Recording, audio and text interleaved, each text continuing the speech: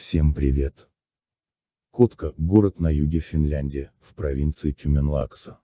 Расположен на берегу Финского залива, на соединенных мостами островах в устье восточного рукава реки Кюмиоки. Исторический центр города расположен на острове Котка.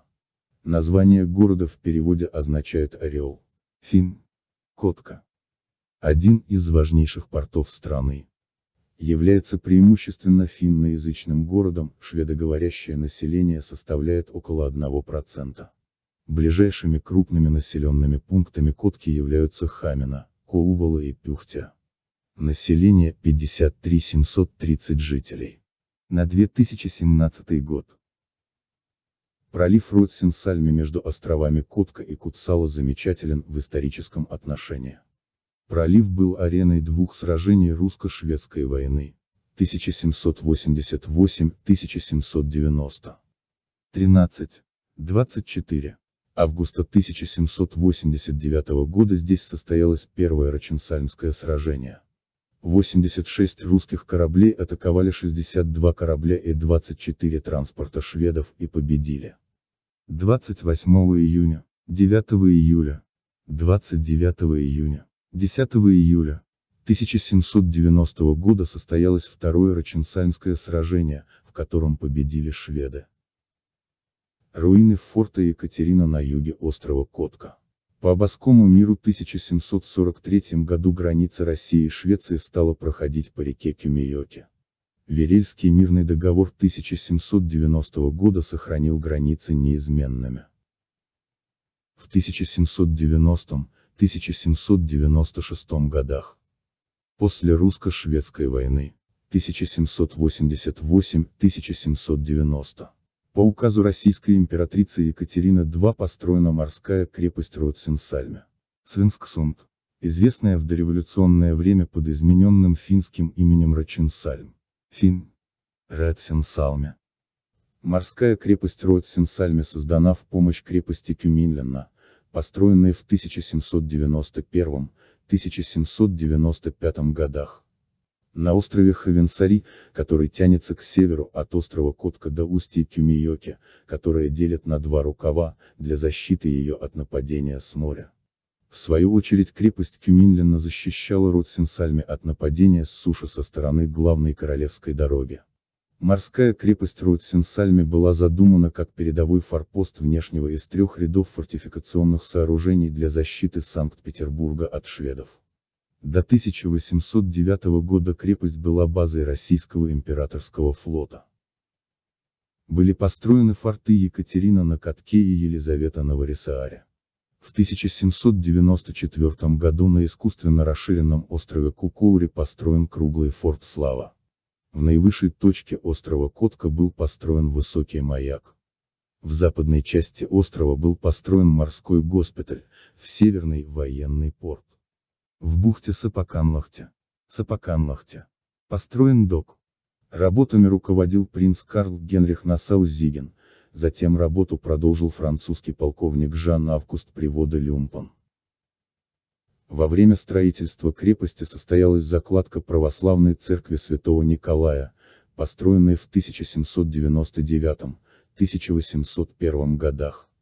При крепости возник город, население которого достигало 10 тысяч человек. Город был застроен маленькими одноэтажными деревянными домами. По Фридрихсгамскому мирному договору 1809 года Швеция уступила Финляндию России, гарнизон и флот были переведены в Свеборг. В 1830-х годах крепость была заброшена. В 1855 году во время Крымской войны англо-французский флот обстрелял форт Слава, на Котку был высажен десант, крепость Ротсенсальми была разрушена, город при крепости был сожжен. Во время Крымской войны англо-французский флот почти полностью разрушил крепость Ротсенсальме. Форт Слава был обстрелян. На острове Котка высадился десант, город при крепости был сожжен. В городе уцелела лишь православная церковь святого Николая, являющаяся в настоящее время старейшим сохранившимся зданием города Котка. Город Котка был основан в 1878 году по указу российского императора Александра II. Город особенно быстро развивался в 1930-е годы. Император Александр III и императрица Мария Федоровна в кругу приближенных на крыльце своего дома в Лангинкаске в Финляндии. Увлечения Александра III были относительно простыми. Часто летом царская семья уезжала в финские шхеры. Здесь они большую часть времени посвящали длительным прогулкам, рыбалке и катанию на лодках. Достопримечательности. В катке можно увидеть много исторических мест. В катке до 21 столетия сохранилось много архитектурных памятников. Есть православная церковь святого Николая, датированная 1795-1801 годом, строительство велось под руководством архитектора Я. Перине, лютеранская церковь, построенная в 1898 году. Частично сохранился форт Славы и форт Елизаветы из здания городского собрания. Царский рыбачий дом расположен на территории заповедника Лангинкаске, на расстоянии 5 километров от центра. Этот дом был построен для русского императора Александра III и сохранил ту обстановку, в которой жила семья императора в конце XIX века. На территории этой достопримечательности находится старое рыбное хозяйство. Царский рыбачий дом открыт с мая по август каждый день с 10 часов ровно до 19 часов ровно. В сентябре и октябре дом открыт для посещений в субботу и воскресенье с 10 часов ровно до 19 часов ровно. Вход в дом платный и для взрослых он составляет 8 евро, студенты, пенсионеры и т.п.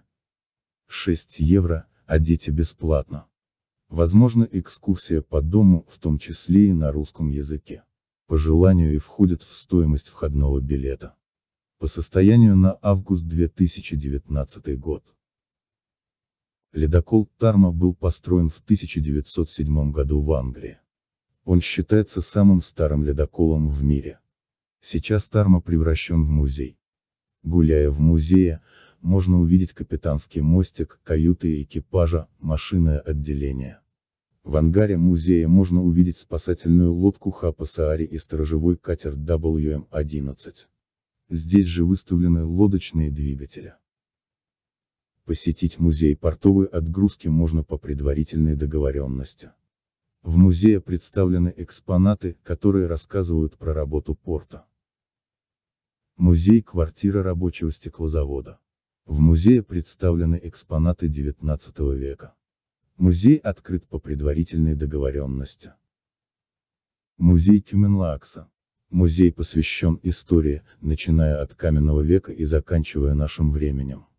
На этой выставке можно увидеть шведские, эстонские, русские и финские морские карты, самая ранняя датировка которых относится к XVIII веку. Музей открыт с вторника по пятницу с 12 часов ровно до 18 часов ровно, и в субботу-воскресенье с 12 часов ровно до 16 часов ровно. Вход в музей платный и составляет для взрослых 2 евро, а для детей 1 евро. Авиационный музей расположен на аэродроме Кюми.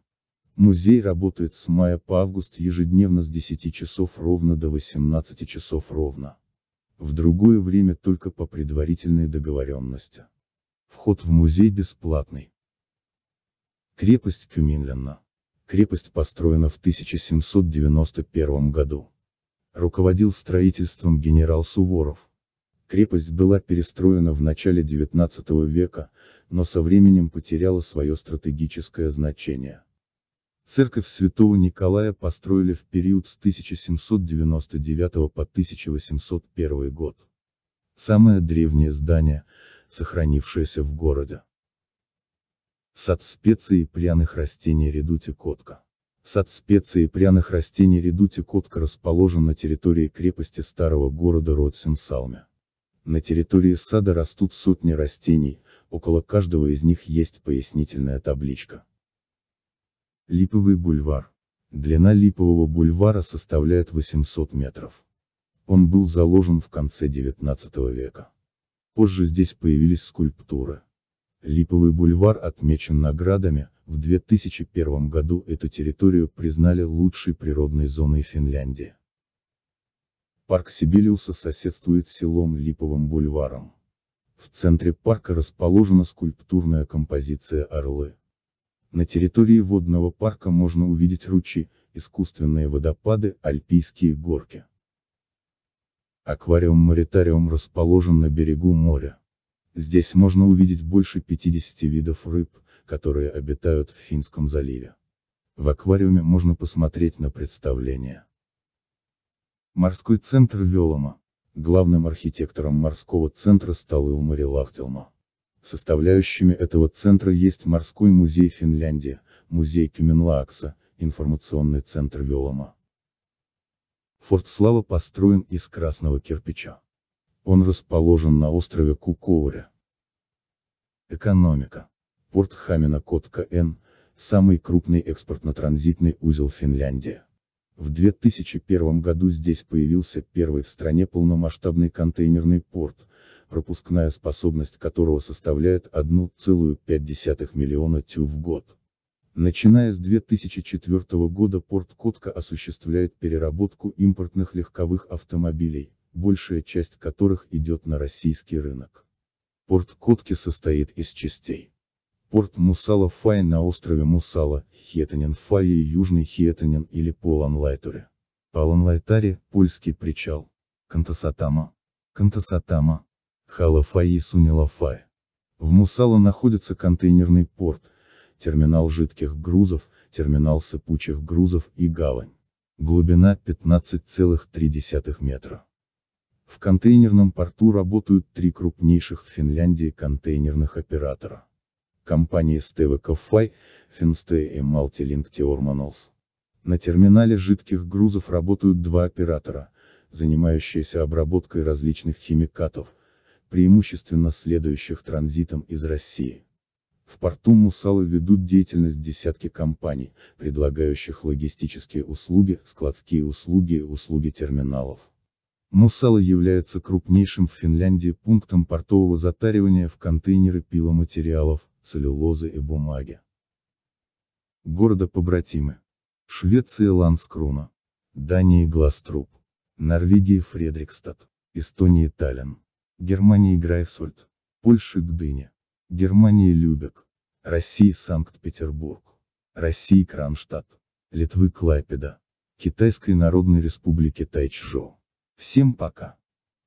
Пишите комментарии. Читайте комментарии. Интересные люди расскажут интересные истории. Всем хорошего настроения и удачи!